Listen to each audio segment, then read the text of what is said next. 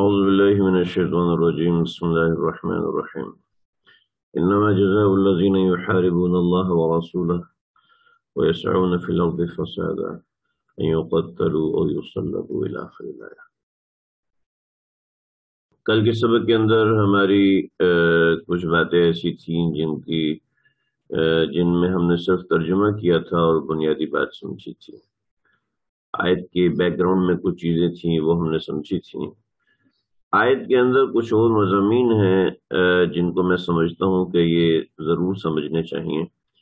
और अगर ये नहीं समझे जाएँगे तो इसका हक अदा नहीं होगा। तो थोड़ा ज़रूरी समझा तो चाह कि इस आयत की वजाहत कर दी जाए। माशाल्लाह आप लोगों में से जिन लोगों ने कई एक साथियों ने अच्छे सवाल किए अच्छे सवाल से पता चलता है कि वाक़ता सामने वाला पढ़ रहा है। बाजी लोग इस तरह के सवाल करते हैं जिससे वो ये समझाना चाहते हैं कि वो लोग बहुत ज़्यादा पढ़े लिखे हैं। तो इससे इससे कोई फ़र्क नहीं पड़ता। हम हम लोगों ने इतनी ज़्यादा किताबें पढ़ी होती हैं और इतने ज़्यादा अहल इल्म के पास बैठे होते हैं कि आम आदमी जो कि दुनियादारी से ताल्लुक रखता है उसका तर्ज व तरीक़ा तो मुतासर कर सकता है, लेकिन आमतौर पे हमारे चूँकि फ़ील्ड ही ये है तो किसान को मुझ जैसा आदमी कितनी भी टमाटर पे रिसर्च कर ले, मुतासर नहीं कर सकता। तो लिहाजा एक बात जहन से निकाल देनी चाहिए कि इलमी एतबार से। लेकिन हमें अच्छे सवाल की तलाश होती है कि कोई अच्छा सवाल करने वाला जिससे हमें समझने और सीखने का मौका मिले। लिहाजा एक बात तो जहन से निकाल देनी चाहिए कि भाई कोई ऐसा इल्मी रोब कायम करना। आ, असल में दो तीन चंद एक लोग दरमियान में ऐसे सवाल करते रहे इसलिए मुझे मजबूर ऐसी बात करना पड़ी।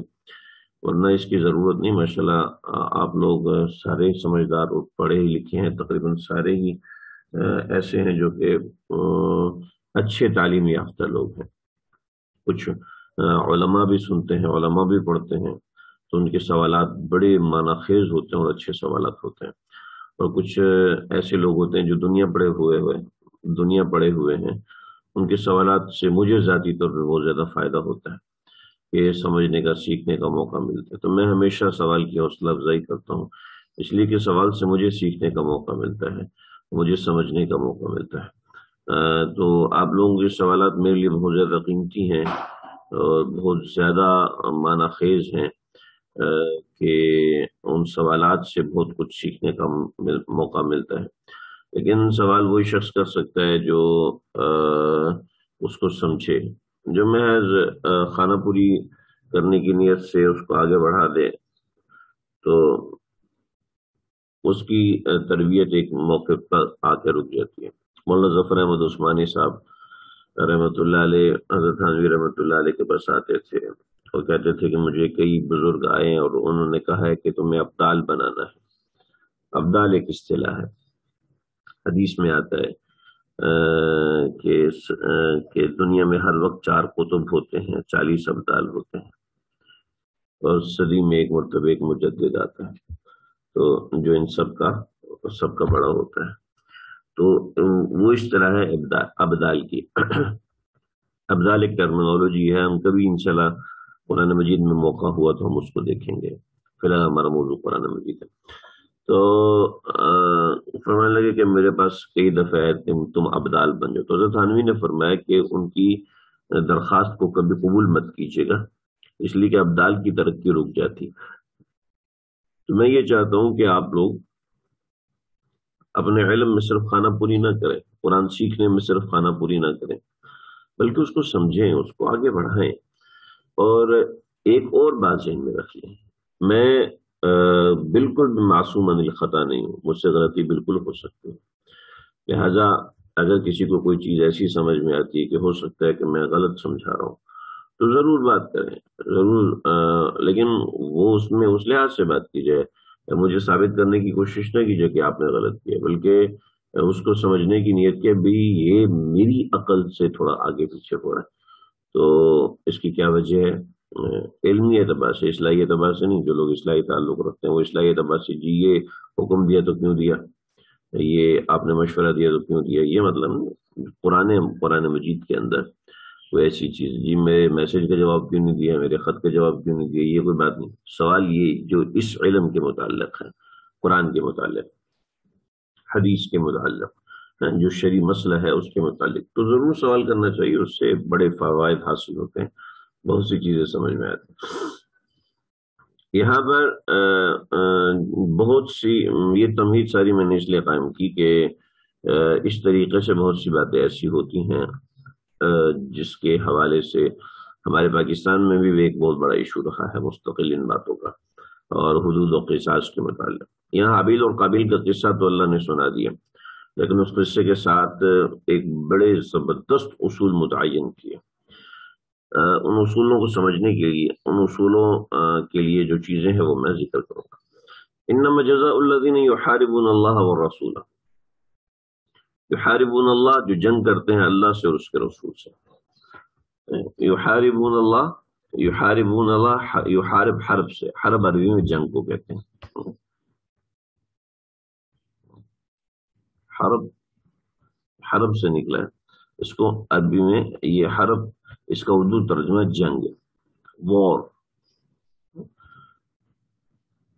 चूँकि हमारा मीडियम जो है वो उर्दू है तो इसलिए मैं उर्दू में वॉर जो अल्लाह और रसूल से जंग करते हैं। तो यहाँ पर खास तौर पे चूँकि शान नजूल में बात आई और जो चीज़ें गुजरी तो उससे यहाँ पे डकेती मुराद राहजनी और डकेती रहजनी कहते हैं, करीम पुरानी जबान के अंदर, फारसी के अंदर, रहजनी कहा करते थे। और जो है, उर्दू में इसको डकैती कहते हैं। तो डकैती के लिए अल्लाह रब्बुल इज़्ज़त ने चार किस्म की सजाएँ बयान की। कत्ल कर दिया जाए, सूली चढ़ा दिया जाए, हाथ पाँव काट दिए जाए, मुल्क बदल कर दिया जाए। देखें कितना खूबसूरत निज़ाम है अल्लाह का। देखिए, डकैती एक किस्म की नहीं होती, डकैती मुख्तलिफ़ किस्म की होती है। डकैती ये होती है कि कनपट्टी पे गन रखी और सब कुछ लेके चले गए। एक ये डकैती है। एक डकैती है कि आए और बांधा और बाँध के सब कुछ लेके चले गए। अब ये जो दूसरे किस्म की डकैती आए बांधा और, और सब कुछ लेके चले गए ये हल्की है। लेकिन आ, माथे पे कनपट्टी पे गन रखी और सब कुछ लेके गए ये थोड़ी भारी है। समझ? तीसरी डकैती अल्लाह माफ़ फरमाए अल्लाह आपको हम सबको इन चीज़ों से महफूज फरमाए। लेकिन इस तरह दुनिया में हो रहा है इसलिए अल्लाह ने कानून उसको वजह फरमाया। कानून उसका बिल्ड किया कि ये कानून है इसका। एक और डकैती जो इससे भी ज़्यादा हार्ड है। आए और दस बंदों में से बैंक आए। बैंक में और एक बंदे को कत्ल किया। उससे सब में रोप पड़ा, सब पे रोप पड़ा और और बकिया उन्होंने माल उठाया और चले गए। तो इसमें डकैती के अंदर कत्ल भी आ गया। एक इससे भी बड़ी है कि आए, एक बंदे को कत्ल किया। किसी औरत का रेप किया और सब कुछ माल लिया और चले गए। एक डकैती यह है कि ये सारे काम किए बार बार तस्करा करने का दिल नहीं करता और उसके बाद किसी को अगवा किया और अगवा करके लेके चले गए और दो दिनों के बाद उस बंदे की लाश मिली। ये उससे भी ज़्यादा तकलीफ़ दे, उससे भी ज़्यादा नुकसानदेह एक डकैती यह है कि किसी नौजबिल्ला हिफाजत बच्चे को मार दिया। या बच्चे को अगवा करके ले गया, उसको कत्ल करके फेंक दिया, या फिर कोई और ऐसी गलत हरकत तो डकैती एक तरह की नहीं होती। चुनाचे अल्लाह रबुल्जत ने लफ्ज अऊ के साथ तलू एक सजा ये कि उनको कत्ल कर दो। ठीक है? युसल्लबू, दूसरी है, उनको फांसी, सूली चढ़ाओ। सूली होती है, सूली होती है आजकल सूली फांसी होती है ना। शरीयत ने सूली बताई ना, वही सूली ये तख्ता तख्ते के ऊपर बंदे को बांधा। हाथ इधर एक पाँव इधर एक पाँव इधर एक पाँव इधर और सर यहाँ पर है ठीक है? और ये हाथ बांधो या फिर हाथ के ऊपर कील गाड़ दो। पाँव बांधो या पाँव के ऊपर कील गाड़ दो ठीक है? इस तरीके से पेड़ को इसके साथ बांधो या आ, या आ, या फिर आ, उसके ऊपर उसको छलनी करना शुरू करो। और यूसल्लू तो ये आ, सूली देने का असल माना ये होता है कि यहाँ इसको बाँध दिया जाए और फिर आ, और उसको इस तरीके से मारा जाए। युसल्लू और उसका एक तरीका कार फांसी का भी है जो आजकल होती है। लेकिन असल इस्तेला में युकतिलून अबना जो फिर के बारे में था कि वो वो जो है सूली पे चढ़ाता था। तो सूली पे चढ़ाने का ये माना होता है। सूली इस तख्ते को कहते थे। जो ये तख्ता है कांटे की शक्ल का बना होता था, इस तख्ते को सूली कहते थे। यहाँ हाथ यहाँ हाथ, यहाँ पाँव यहाँ पाँव, और फिर इस तरीके से उसको कत्ल किया जाता था। तो देखें, सजा को थोड़ा मजीद बढ़ा दिया, ठीक है? और तुकता आयरी और जुलूम खिलाफ, ये उनका एक हाथ और एक पाँव काट दिया, ठीक है? ये, यानी रोबरी थोड़ी हल्के वाली थी। और यूनफो मिनल अर्द या उसको मुल्क बदल कर दिया जाए। ये चार किस्म की सजाएँ। हो सकता है ये सारी सजाएँ इकट्ठी हो जाए। ठीक है? हो सकता है ये सारी सजाएँ इकट्ठी हो जाए और हो सकता है इनमें से दो सजाएँ इकट्ठी हो जाए, तीन सजाएँ इकट्ठी हो जाए। तो ये डाके के लिए अल्लाह रब्बुल इज़्ज़त ने सजा को मुतन कर दिया। ठीक है? तो ये जालिक खिजुल्लहुम जालिक लहुम खिजुन फिल है फिल दुनिया वल वलहुम फिल आखिरत आजाब अली अजीम दुनिया में उनके लिए ये रसवाई है इन चार किस्म की सजाओं के ज़रिए से। ठीक है जी? ये जो सजा अल्लाह रबुल इज़्ज़त ने बयान फरमाई, इस सजा को हद कहते हैं। इस्लामी सजा जो होती है वो तीन किस्म की होती है। इल्लदीन ताबू मिन कबल अन तकदिर इस ये आयत ये अगला हिस्सा इसके मुतालिक है, ये जो मैंने बनाया हुआ देखिए इस्लामी सजाएँ तीन तरह की होती हैं। इस्लामी सजा की की पहली किस्म है हदूद। हदूद उन सजाओं को कहते हैं जो सजाएँ अल्लाह रबुल इज़्ज़त ने खुद से मुतन फरमाई हैं। उन सजाओं में कभी तब्दीली नहीं होती। सिवाय उसके जिस, जिसमें अल्लाह रबुल इज़्ज़त ने खुद तब्दीली कर दी। दोबारा समझ लें, हद वो सजा है जो अल्लाह रबुल इज़्ज़त की तरफ़ से मुतन है। हद वो सजा है जो अल्लाह रबुल इज़्ज़त की तरफ़ से मुतन है, उसमें कोई शख्स तब्दीली नहीं कर सकता। और अल्लाह रबुल इज़्ज़त ने वो चार सजाएँ खुद से मुतन फरमाई। ठीक है? पहली सजा डाका, जिसका हुक्म आप लोगों ने यहाँ पढ़ लिया। दूसरी सजा चोरी, तीसरी पहला जुर्म डाका है। में और बोल के। पहला जुर्म डाका है, उसकी सजा ऊपर बता दी। दूसरा जुर्म चोरी है, उसकी सजा अल्लाह ने दूसरी जगह सारे को सारे का तो फकता हुआ जजम बेमा के सबना कलमिन अज़ीज़ हकीम। वो और है, यानी चोर का हाथ काट दिया जाए। चोर का हाथ काट दिया जाए यानी चोर का बाया हाथ काट दिया जाए गट्टे से। गट्टा मतलब जहाँ हाथ आपका खत्म हुआ तो हाथ के आ, के खत्म होने के साथ एक उभरी हुई हड्डी आती है आ, उल्टी तरफ़ यानी हाथ के एक कोने की तरफ़ एक हड्डी आती है। जिस तरफ़ छंगलिया होती है यानी छोटी उंगली होती है उस तरफ़ एक उभरी हुई हड्डी आती है। इस हड्डी को गट्टा कहते हैं। ठीक है ना?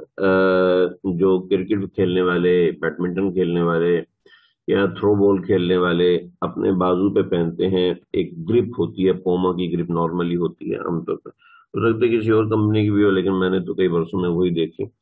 तो उससे वो पसीना भी साफ़ करते हैं और वो ग्रिप जो है, वो बाजू को मज़बूत करती है। यानी, जो जो गुट होता है आपका, उसको खराब नहीं पता नहीं आप लोगों की जबान में उसको क्या कहते हैं? उम्मीद है समझ में आ गई होगी। तो इसके दरमियान से हाथ को यहाँ से काट दिया जाए। ये चोरी की सजा और अगर फिर वो चोरी करते तो फिर दूसरा हाथ काटा जाएगा। इस तरीके से। बाज हजरात के नज़दीक चोरी करते हैं, दोबारा तो अब उसका दूसरा हाथ नहीं काटा जाएगा। अब उसको सजा दी जाएगी कैद किया जाएगा। मतलब चोरी की ये सजा ठीक है? उसके बाद तीसरा है जिना।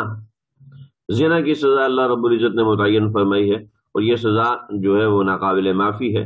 डाके की सजा, चोरी की चोरी की सजा और जिना की सजा, ये नाकाबिल माफ़ी है। डाके की सजा के हवाले से आगे मैं ज़िक्र कर ठीक है। एक शख्स ने किसी किसी औरत के ऊपर तोहमत जिना लगा दी, जिना की तोहमत लगा दी। किसी औरत ने किसी मर्द के ऊपर, या किसी मर्द ने किसी मर्द के ऊपर, या किसी औरत ने किसी औरत के ऊपर किसी ने भी किसी के ऊपर जिना की तोहमत लगा दी। तो जिना की तोहमत, इसकी भी सजा अल्लाह रबुल्ज़त ने मुतन की है कि अस्सी कोड़े उसको मारे जाएँगे। जिना गैर शादीशुदा ने किया है तो उसको उसको सौ कोड़े मारे जाएँगे। और जिना अगर शादीशुदा ने किया है तो उसको रजम किया जाएगा यानी पत्थर मार मार के कत्ल कर दिया जाएगा। ये जिना की आ, आ, की सजा है। इसकी तफसील मैं पीछे बता चुका हूँ कि जिना की यह सजा क्यों है बहुत तफसील से बता चुका तोहमत जिना जो है तोहमत जिना इन्हें किसी औरत पर जना की तुम्हें लगाया अब उसके लिए अस्सी कोड़े उसको लगेंगे अगर उसने उसकी दलील पेश न की। ठीक है जी? तो ये चार सजाएँ हैं माफ़ नहीं होंगी। ये जहन में रखिएगा। किसी की माफ़ करने से माफ़ नहीं और पांचवी सजा साहबा के इजमा से साबित होती है शराब खोरी की। अगर किसी ने शराब पी है तो साहबा का, का इजमा है कि उसको अस्सी कोड़े मारे जाएँगे। हज़रत अली, हज़रत उमर फारूक रज़ी अल्लाह दीगर ऐसे लोग।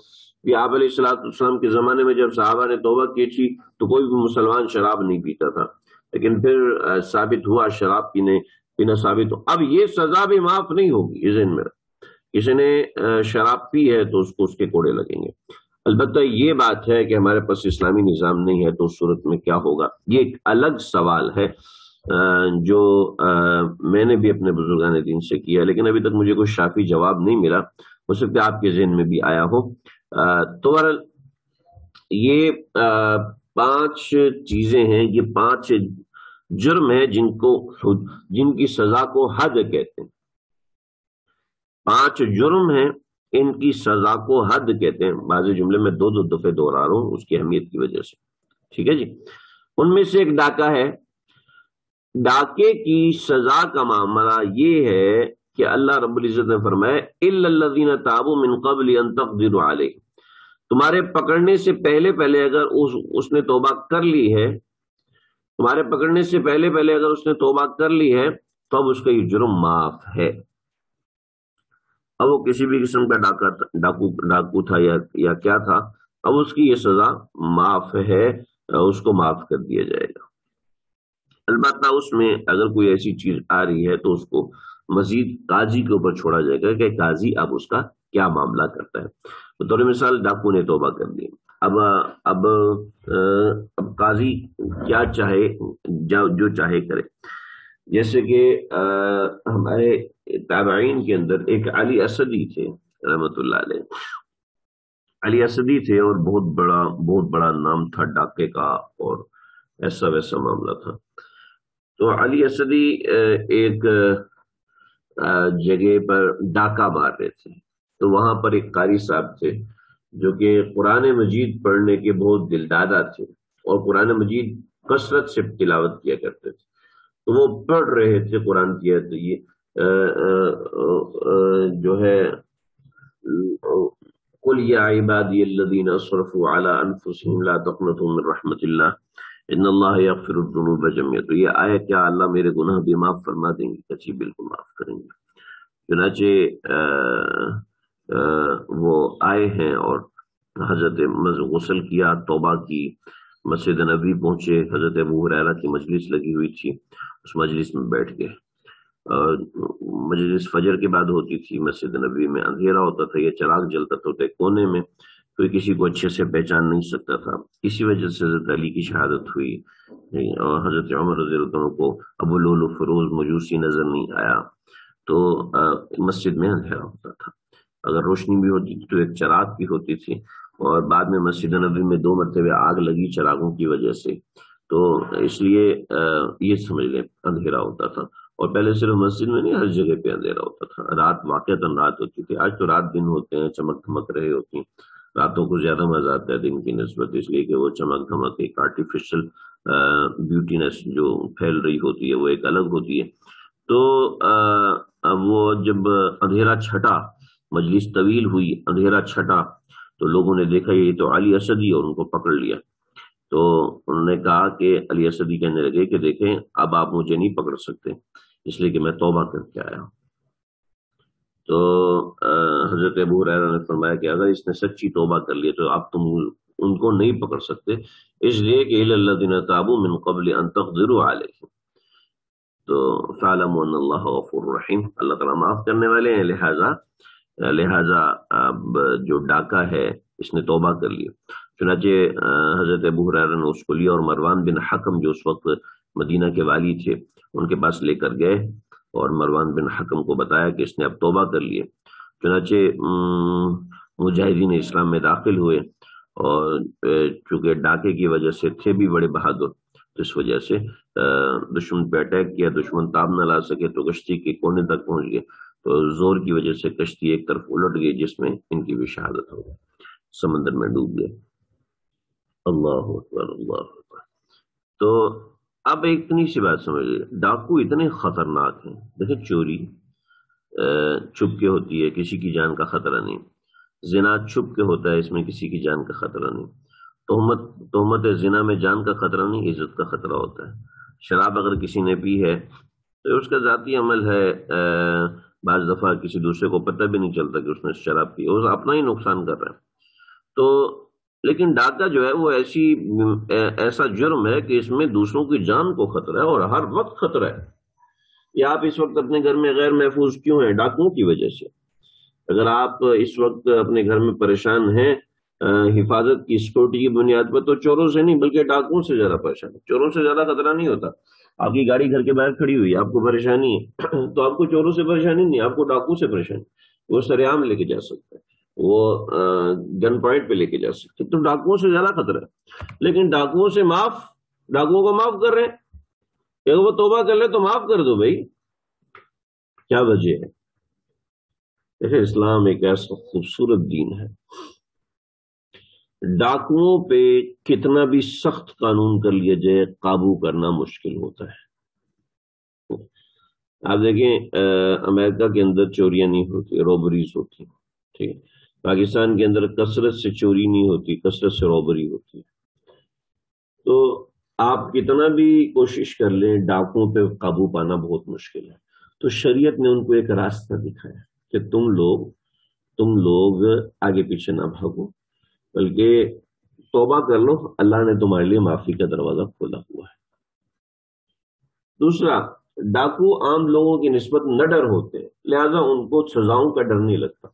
उनको अल्लाह रबुल इज़्ज़त ने अपनी जात से डराया कि तुम आ जाओ, तोबा कर लो, माफ़ी मांग लो, हम तुम्हारे जुर्म को माफ़ कर देंगे। डाकुओं का गिरोह ऐसा होता है जो जो मुमलिकत इस्लामिया को फ़ायदा दे सकता है। जबकि चोर डरपोक होता है, उससे मुल्क को डरपोक आदमी से कोई ऐसा बड़ा फ़ायदा नहीं हो सकता। ठीक है? जानी जो है, वो शहवत परस्त शहवत परस्त आदमी ना हुकूमत चला सकते सही तरीके से, ना वो सही तरीके से घर चला सकते तोमत लगाने वाला तोमत लगाने वाला, वो कान का कच्चा होता है, और कान का कच्चा इंसान कभी ऐसा कामयाब जो किसी एक की बात सुन के मुतासर हो जाए हर एक की बात, नहीं वो। शराब नोश, वो नशे के आदि, नशे के आदि जो है, वो जितने बड़े अहदे पे आते हैं, उतनी बड़ी तबाही मचाते हैं, उतनी बड़ी गंदगी मचाते हैं। लेकिन डाकू ऐसे होते हैं जो नडेर होते हैं। उनके अंदर एक ऐसा हुनर बहादुरी का जिससे मुमलिकत को फ़ायदा हो सकता है। चोर के अंदर हुनर तो होता है, लेकिन उसका हुनर सिर्फ़ उसके जाती नफे के लिए होता है, आमतौर पर दूसरों के नफे के लिए नहीं होता। उसमें बुजली है बुजली हुनर को तबाह कर देती है। तो इस वजह से अल्लाह रबुल्ज़त ने इनके माफ़ी का मामला फरमाया। थोड़ा मजमून खुश्क हो गया है इसलिए मैं इसको यहीं तक रोकता हूँ। अगला मैं थोड़ा सा समझा दूँ इसका ताल्लुक खसास अगर किसी ने किसी को मारा है तो बराबर सराबर का बदला दिलवाना उसमें ज्यादती ना हो जैसे किसी ने किसी की आँख फोड़ दी तो बराबर सराबर का बदला होना चाहिए। किसी ने किसी का कान काट दिया तो बराबर सराबर का बदला बराबर का बदला होना चाहिए। इक्वलिटी होनी चाहिए बदले के अंदर। इसी तरीके से किसी ने कि, किसी का एक्सीडेंट कर दिया तो उसमें बराबर सराबर था बदला एक्सीडेंट किया जनाब गाड़ी पुरानी थी, वो वैसी मरने वाली तबाह होने वाली थी खराब होने वाली थी। और जनाब एक्सीडेंट हुआ तो अब बिल्कुल नई गाड़ी बनवा रहे नहीं, ये ऐसा नहीं। इस तरीके की गाड़ी थी, उसी तरीके से बनवा के देगा गाड़ी की वैल्यू पाँच लाख है और ये बनवा रहे गाड़ी के ऊपर। जनाब नई टायर डलवा रहे हैं फलान से हमने ये कर दिया, वो कर, जैसे आजकल इंश्योरेंस पॉलिसीज़ का गलत इस्तेमाल किया जाता है।